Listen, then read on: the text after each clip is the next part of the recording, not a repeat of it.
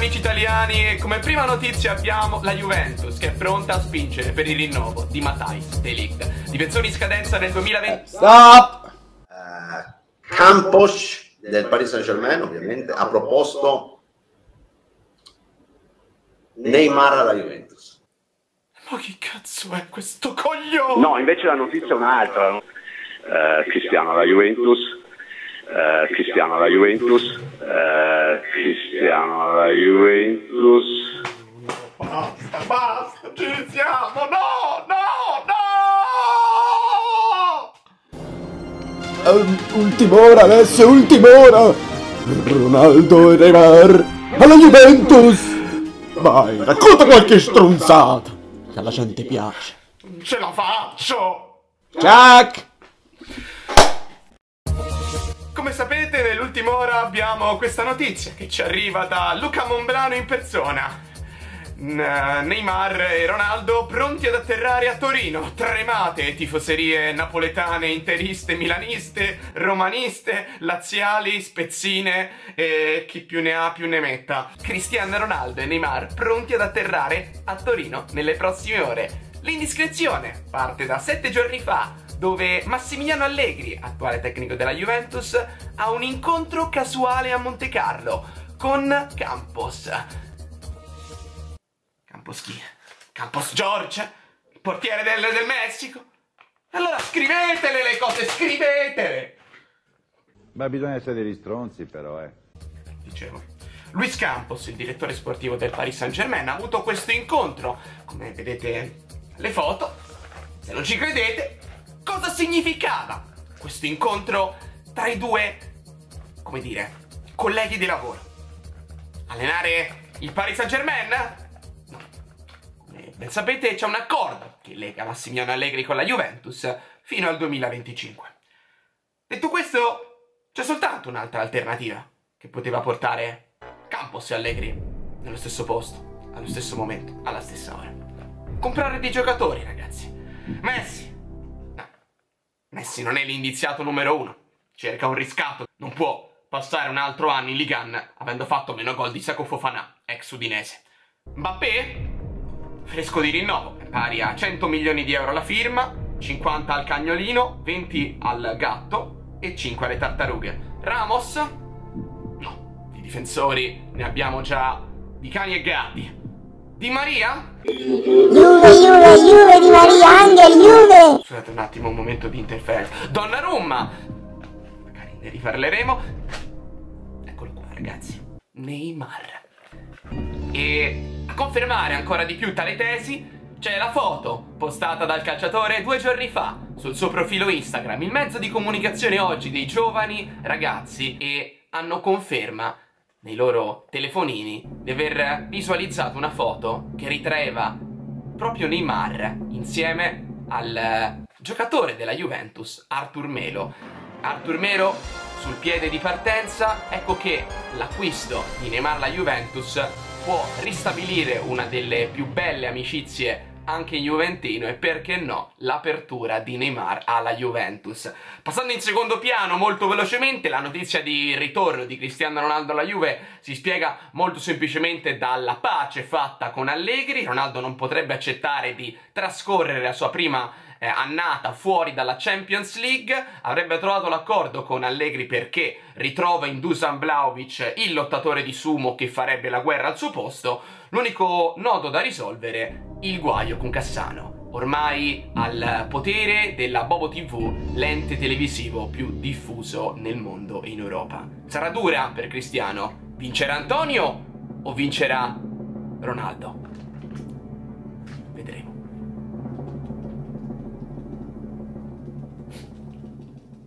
Bello, eh? Bello.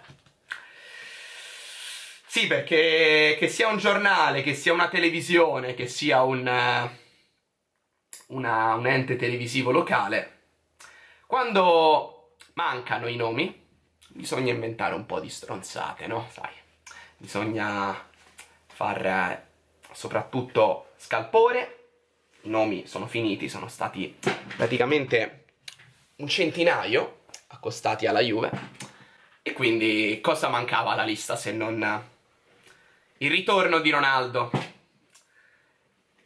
E Neymar non mancava più niente.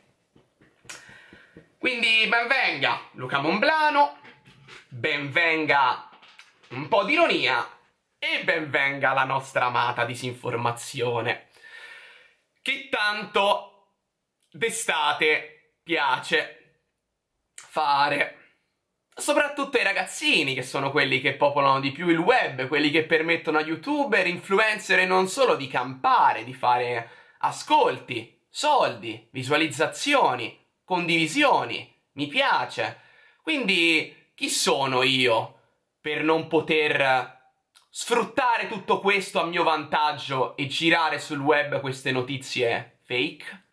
Non sono nessuno. Io ci posso trarre qualsiasi tipo di guadagno da queste notizie.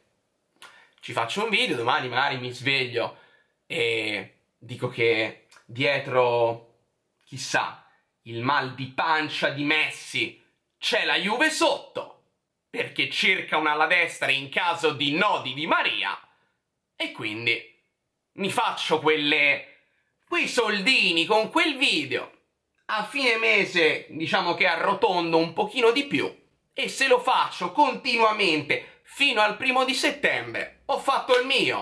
Anche perché sta gente che campa così, che fa dal primo settembre? Eh, bisogna parlare di calcio giocato, dove siamo tutti alla pari, dove si parla di partite, si analizza tutti insieme una cosa, e non c'è chi parla di più o chi parla di meno. La partita la commenti perché c'è un evento che ha un inizio e ha una fine. Nella confusione, nella baraonda del circomercato, il vostro circomercato, ci traete vantaggio così perché siete liberi di scrivere ogni giorno qualsiasi nome, qualsiasi cosa che possa essere verificata, che non possa essere verificata. E soprattutto sfruttate la vostra utenza, che può essere e sicuramente, come in tutte le cose, comprende e arriva e sfocia e rimbalza, perché nei miei direct c'era panico totale, per almeno il 50% delle persone che mi mandavano la notizia, io quasi a dover spiegare loro di diffidare un po' da tutto quello che leggono. Ma è un argomento un po' vecchio. Però il fatto che ogni anno il web sputa via chi non eh, ci sta più dietro, si prende i nuovi arrivati, i ragazzini, e questi li metti in un circuito dove poi, capisci, no? Che se cominci a instaurare, a instaurare con un ragazzo la discussione, Manni, cosa ne pensi di Neymar? Non esiste! Non esiste la discussione dove io possa parlare con voi seriamente di questi due giocatori. Dobbiamo parlare seriamente del contesto per il quale la Juventus ha sposato una linea ferrea dove stiamo cercando di rizollare il terreno e scavare a fondo e cercare di avere una rosa dove il tetto massimo di ingaggio è quello che prenderà Pogba. E attorno tutti gli altri fissato sui 10 milioni con tutti gli altri sotto su quelle cifre lì? Stiamo cercando di spalmare il monte ingaggi, stiamo ricercando di ripartire dalla situazione che ancora ci siamo lasciati alle spalle da soltanto un anno fa, quella del Covid, dove tagli di stipendi devono rientrare, perché qualche giocatore si è ricucito l'ingaggio per far spazio a questa politica al risparmio, perché ci sono squadre che devono comunque fare degli utili, perché in questi tempi sono stati chiusi gli stadi, bisogna in qualche modo fare tutti un passo indietro, lo ha fatto capire la società, ci siamo resi conto che avere un giocatore che sputa in testa agli altri non ti porta a vincere niente, ma anche solo parlare, stare qui a far aumentare la durata di questo video di questi giocatori, di queste trattative, che poi, come dire, fatevele andare bene le altre che sono presenti in questo momento, no? Va bene. Creiamo la storiella che serve ad accompagnare l'attesa e il ripensamento di chi sicuramente ha la Juve come prima scelta. O sbaglio, Angel?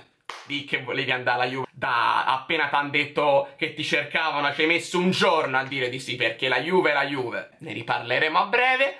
E quindi, cos'altro? Volete il me comico o il me serio, da me non lo avrete mai il me serio a parlare di queste notizie, lo sapete.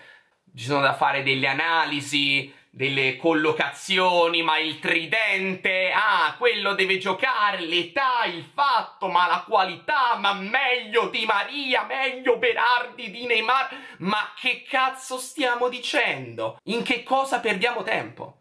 Perché fino a una certa rimango il personaggio, ci faccio la battuta perché fino lì rimane lì, rimane una notizietta. Il problema è che quando provi a parlare con queste persone a fargli capire a zi, a canna, sta notizia a cartocciola, penso che le sappiate. Le fonti affidabili o quelle che bene o male non sono ricordate come personaggi che ogni tanto se ne escono con queste robe qua, nel rispetto del personaggio, nel rispetto della sua trasmissione seguita da tanti juventini, ma fammi seri, non giochiamo. Dai, fa caldo, datevi a fa un bagnetto. Tranquilli che Angel arriva. E quando inizia a ritirarsi la Juventus con Allegri? A luglio. E allora che arrivi oggi, che arrivi tra una settimana, non cambia niente. Quell'altra arriva a luglio, con molta calma, ma con molta testa. Dai. 5.000 mi piace per il prossimo TG. Vabbè, chi ci è arrivato a questo punto del video commenti qui sotto con eh, Air TV.